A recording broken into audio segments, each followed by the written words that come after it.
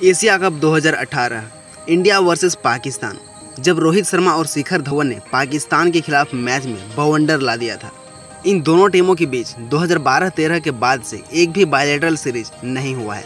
इसलिए ICC tournament हो या एशिया कप हो फैंस को इन दोनों टीमों के बीच मैच का बेसब्री से इंतज़ार रहता है। पर जब भी इन दोनों टीमों के बीच मैच होता है तो ज़्यादातर मैचों में थ्रिलर होता ही नहीं है। एक तरफा हो जाता है, क्योंकि बाप बाप होता है और बेटा बेटा होता है।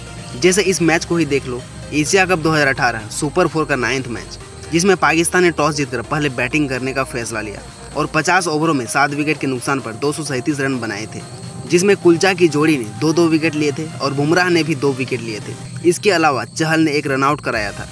अब इंडिया को जीत के लिए 238 रनों का टारगेट मिला, जो कि ठीक ठाक था, ज़्यादा भी नहीं था तो कम भी नहीं था। अब यहाँ से पाकिस्तान टारगेट को बचा ले, इसका चांस तो बहुत कम था। पर इंडियन बल्लेबाज मैच को एक तरफा कर देंगे, ये पता नहीं था।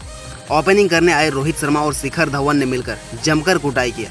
पहले 50 रन का पार्टनरशिप लगाया, फिर देखते ही देखते 100 रन का पार्टनरशिप हो गया।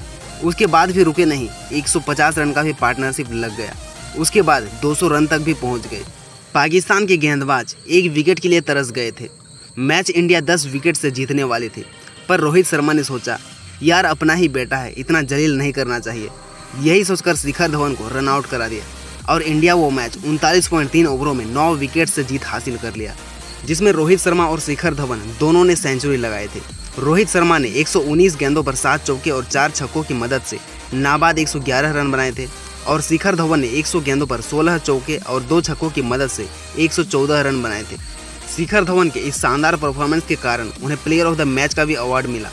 उस मैच में और एक बात गौर करने लायक ये था कि पाकिस्तान के दो मेन गेंदबाज, मोहम्मद आमिर और Shaheen Afridi left arm pacer उन दोनों का ही उस मैच में जमकर कुटाई हुआ था। जबकि एक दो बार हमारे बैट्समैन लेफ़्ट आर्म बॉलर के सामने आउट हो जाते हैं तो कहा जाता है कि लेफ़्ट आर्म बॉलर को हमारे बैट्समैन खेल क्यों नहीं पाते हैं? खासकर रोहित शर्मा का कमज़ोरी लेफ़्ट आर्म बॉलर को ही कहा जाता है।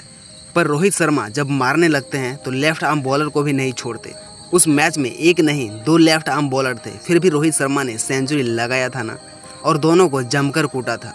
उसके बाद भी वर्ल्ड कप 2019 में पाकिस्तान के खिलाफ सेंचुरी लगाया था कि नहीं? उससे पहले ऑस्ट्रेलिया के खिलाफ वनडे में 209 रन बनाए थे।